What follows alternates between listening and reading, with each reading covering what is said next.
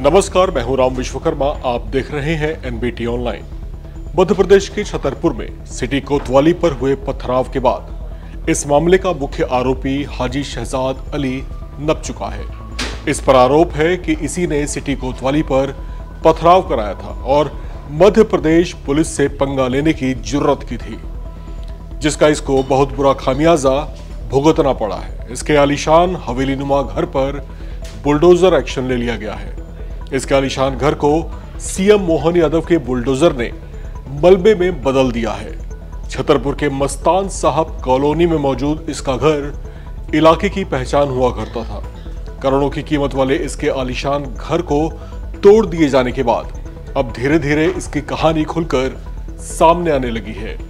एक दौर ऐसा भी था जब हाजी शहजाद ठेले पर घूम घूम कर पुराने कपड़े बेचा करता था, जबकि इसका भाई फयाज अली ऑटो चलाया करता था। लेकिन फिर अचानक ऐसा क्या हुआ कि देखते ही देखते इन पर पैसों की बरसात होने लगी और उसने कुछ ही सालों में करोड़ों की संपत्ति बना ली। इसके जिस मकान को गिराया गया है, उसकी कीमत करोड़ों रुपए आकी गई थी। इसे लेकर कुछ लोगों का आरोप है कि ये और इसका भाई फयाज बदमाशी दबंगई के बल पर जमीनें और दूसरों लोगों की प्रॉपर्टी हड़पा करते थे। इसी तरह का आरोप एक रिटायर्ड सरकारी कर्मचारी, दीनदयाल असाटी और उनके बेटे शरद असाटी ने भी लगाया है। उनका कहना है कि हाजी शहजाद अली और उसके छोटे भाई फयाज अली ने इनकी करोड़ों रुपए की प्रॉपर्टी पर कब्जा किया हुआ है। उनका दावा है कि ये दोनों भाइयों का इलाके में अच्छा आतंक है।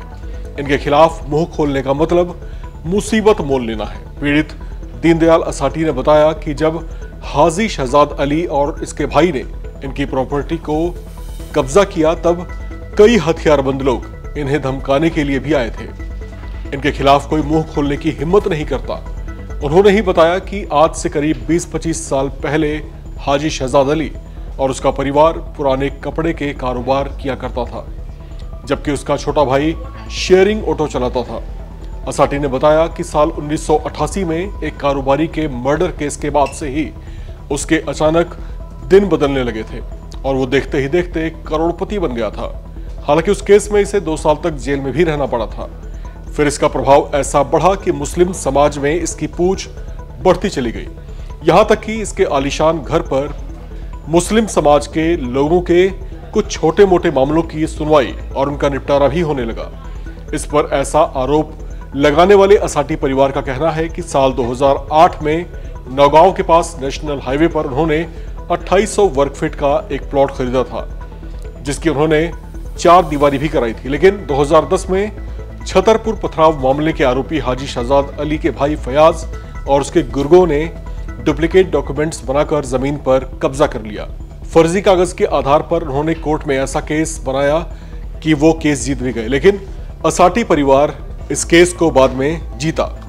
हाजी शहजाद पर आरोप है कि ये अवैध खनन के कामों में भी सक्रिय रहा है, जबकि इसी तरह के कई आपराधिक मामलों में इसका नाम उछलता रहा है। लेकिन अधिकतर बार अपने प्रभाव के चलते लोग इसका नाम लेने से बचते रहे हैं, इससे डरते रहे हैं। लेकिन कहते हैं ना कि अगर आप कुछ गलत करते हैं तो एक ना एक दिन आपका दिन ज़रूर आता है।